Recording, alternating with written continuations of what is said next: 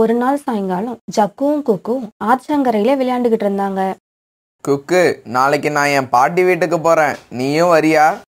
Jug நான் எங்க அம்மா கிட்ட போன வாரமே சொல்லியிருக்கேன். நாளைக்கு நானும் கண்டிப்பா வரேன். நாம ரெண்டு பேரும் உங்க பாட்டி வீட்டுக்கு போனா ஜாலியா இருக்கும்ல?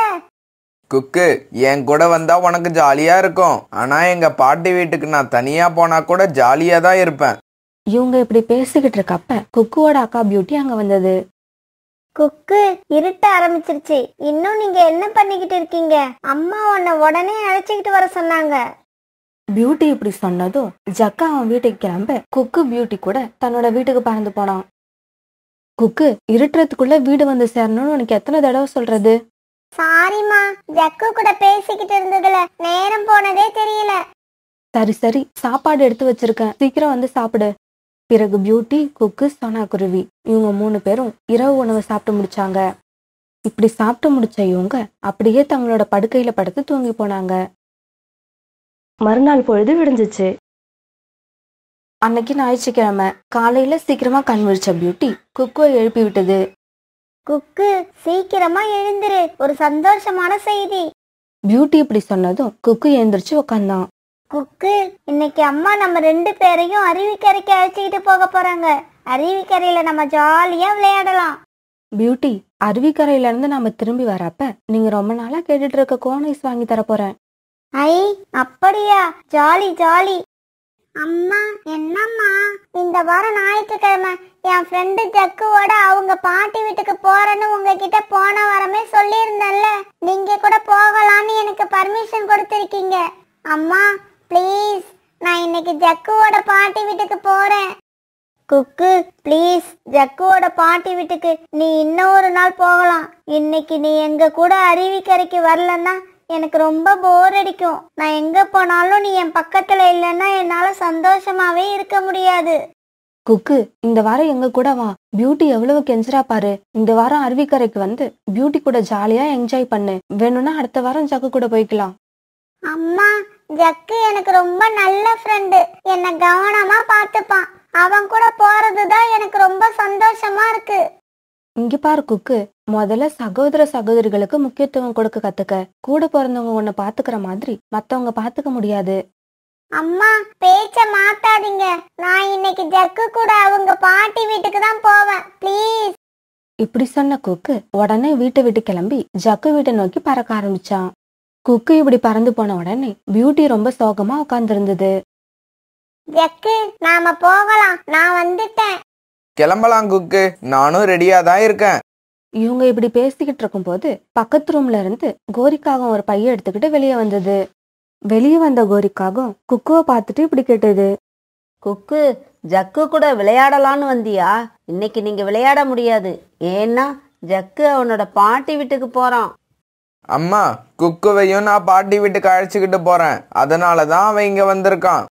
ஜக்கு பாட்டி வீட்டுக்கு போறப்ப எதுக்கு கண்டவங்களை எல்லாம் அழைச்சிக்கிட்டு போற? பாட்டி இவனை திட்ட போறாங்க.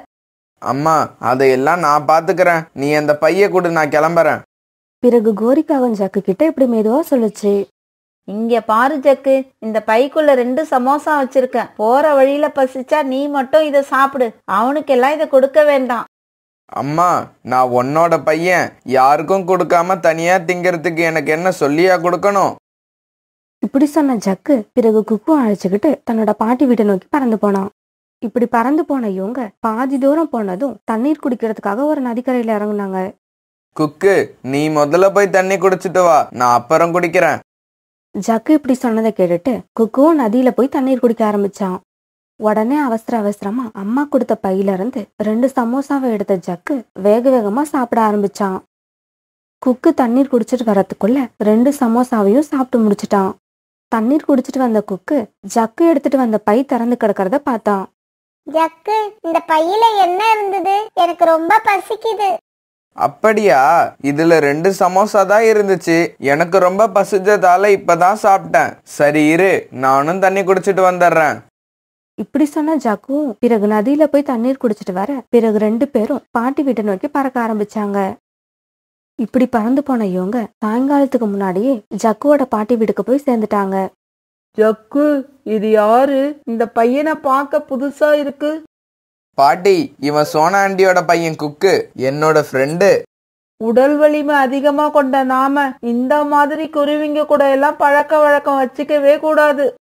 பாட்டி இப்படி சொன்னதும் குக்குவுக்கு என்னவோ போல இருந்தது. இருந்தாலும் வேற வழி இல்லாம இதையெல்லாம் கேட்டுக்கிட்டு உட்காந்துருந்தான் சரி பாட்டி நாங்க ரெண்டு பேரும் வெளியில போய் விளையாண்டுட்டு வரோம்.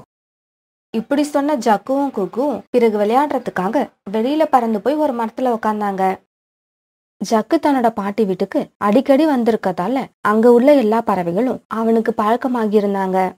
பிறகு கொஞ்ச நேரத்துல குட்டி ஜம்ஜம் அங்க வந்தது. ஜக்கு நீ எப்ப வந்த? உன்னை பார்த்து ரொம்ப நாள் ஆகுது குட்டி ஜம்ஜம் நீ சொல்றது உண்மைதான். நாம பார்த்து ரொம்ப நாள் ஆகுது போன தடவை வந்தப்ப கூட நான் உன்னை பார்க்க முடியல.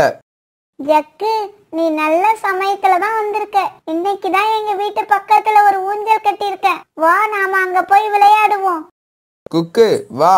நாம குட்டி ஜம்ஜம் கூட போய் ஊஞ்சல் ஆடிட்டு வருவோம். ஜக்கு வர்றதா இருந்தா நீ மட்டும் வா. அறிமுகம் இல்லாதவங்களெல்லாம் அழைச்சிக்கிட்டு போனா எங்க அம்மா திட்டுவாங்க. அதனால ஒன்றும் பிரச்சனை இல்ல.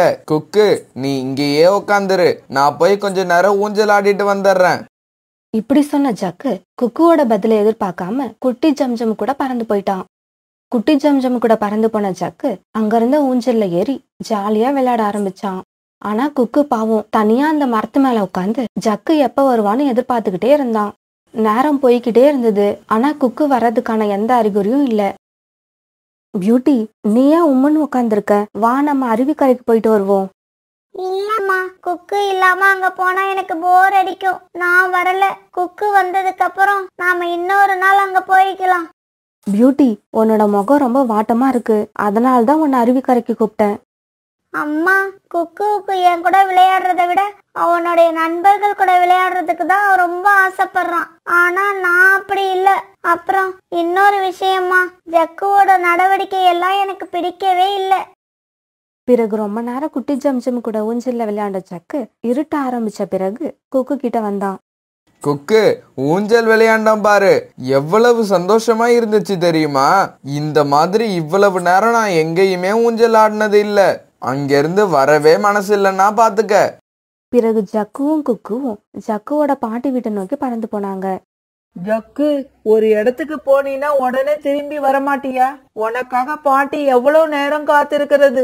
சரி சரி இந்த பழத்தை சாப்பிடு. பாட்டி குக்குவும் இன்னும் எதுவும் சாப்பிடல. இதோ கொஞ்சம் தானியங்கள் அவனுக்காக வச்சிருக்கேன். இப்படி சொன்ன பாட்டி கொஞ்சம் தானியங்களை குக்குக்கு கொடுத்தாங்க. பிறகு ஜக்கு அந்த பழத்தை சாப்பிட ரொம்பவும் பசியா இருந்த குக்கு எதுவும் பேசாம அந்த தானியங்களை சாப்பிட்டான்.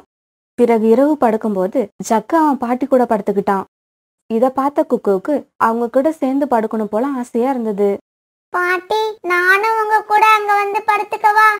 அதெல்லாம் ஒண்ணும் வேண்டாம். நீ அங்கேயே படு. இங்க ரெண்டு பேருக்கு தான் இடம் இருக்கு. பாட்டி இப்படி சொன்ன உடனே குக்கு அந்த கூட்டுல தனியா படுத்தான். பாட்டி பாட்டி எனக்கு ஏதாவது கதை சொல்லுங்களேன். ஒரு தடவை நானும் உங்க தாத்தாவும் நல்ல மழை பெய்யற சமயத்துல உணவு தட வெளியே போயிருந்தோம். ஜக்குவோட பாட்டி ஜக்குவுக்கு இப்படி கதை சொல்றத கேட்டுக்கிட்டே குக்குவும் படுத்திருந்தான். குக்குவுக்கு இப்ப அவங்க அம்மா நினப்பு வந்துருச்சு. சோனா குருவி குக்குவை தனியாவே படுக்க விடாது. எப்பவும் பியூட்டியையும் குக்குவையும் கூடவே படுக்க வச்சுக்கும். இந்த நினப்பு வந்த உடனே குக்குவோட கண்ணுல கண்ணீர் வந்துருச்சு. பியூட்டி சொன்னதை கேட்டு அருவிக்கரைக்கு போயிருந்தா நம்ம எவ்வளவு சந்தோஷமா என்ஜாய் பண்ணிருக்கலாம் ஜக்குவை நம்பி இங்க வந்து நிறைய இடங்கள்ல அவமானப்பட்டதுதான் மிச்சம். இப்படி அழுதுகிட்டே இருந்த குக்கு கொஞ்ச நேரத்துல அப்படியே தூங்கிட்டான். மறுநாள் பொழுது விடிஞ்சிச்சு. குக்கு நீ கொஞ்ச நேரம் வீட்லயே இரு. நானும் ஜக்குவும் மார்க்கெட்டுக்கு போயிட்டு வரோம். ஐ மார்க்கெட்டுக்கா? அப்பனா பாட்டி எனக்கு கண்டிப்பா விளையாட்டு ஜாமான் வாங்கி கொடுப்பாங்க. இப்படி சொன்ன ஜக்கு பிறகு அவன் பாட்டி கூட மார்க்கெட்டுக்கு பறந்து போனான். பிறகு ரொம்ப நேரம் வரைக்கும் குக்கு அந்த வீட்டுல தனியா இருந்தான். குக்குவுக்கு அப்படி இருக்கிறது ரொம்பவும் எரிச்சலை கொடுத்தது. பிறகு மதியானத்துக்கு மேலதான் ஜக்குவும் அவனோட பாட்டியும் வீட்டுக்கு வந்தாங்க. இப்படி வந்த ஜக்கு ஒரு பை நிறைய தின்பண்டங்களையும் விளையாட்டு பொருட்களையும் வாங்கிட்டு வந்தான். அதுக்கப்புறம் அங்கிருந்து கிளம்பின ஜக்குவும் குக்கும் தங்களோட வீட்டுக்கு பறந்து வந்தாங்க. வீட்டுக்கு வந்த உடனே குக்கு அவங்க அம்மாவோட நெஞ்சில சாஞ்சுக்கிட்டு கண்ணீர் விட ஆரம்பிச்சான். அம்மா இனிமே நான் யார் கூடவும் வெளியில போக மாட்டேன். ஜக்கு ரொம்பவும் கெட்டவன். என் மனசை எப்படியெல்லாம் தெரியுமா நோகடிச்சான்? ஜக்கு என்கிட்ட பேசல சரியா விளையாடல. எல்லா இடத்துலயும் என்னை ஒதுக்கியே வச்சிருந்தான். குக்கு அழாதடா. அக்கா நான் இருக்கேன். நம்ம ஜாலியா விளையாடலாம். நீ வரலன்னு அக்கா அருவிக்கரைக்கு கூட போகல தெரியுமா? பியூட்டி இப்படி சொன்ன உடனே குக்கு தன்னோட அக்காவோட தோள்கள்ல சாஞ்சுக்கிட்டான். அக்கா இனிமே உன்னை விட்டு நான் எங்கேயும் போக மாட்டேன். என்னோட சந்தோஷம் எல்லாம் இனிமே உன்னோட தான் குக்கு நிறைய குழந்தைங்க உன்ன மாதிரி தான் சந்தோஷம் வீட்டுக்கு வெளியில இருக்குன்னு நினைக்கிறாங்க. ஆனா அது உண்மை இல்ல. சந்தோஷம் நம்ம வீட்டுக்குள்ளேயே இருக்கு. நாம தான் அதை கவனிக்க தவறி வெளியில போய் அவமானப்படுறோம். நண்பர்களே உங்களுடைய சகோதர சகோதரிகள் கூட அன்பா இருங்க. அவங்க கூட ஃப்ரெண்ட்ஷிப் வச்சுக்கோங்க. ஏன்னா அவங்க தான் உங்களுக்கு கடைசி வரைக்கும் உண்மையா இருப்பாங்க.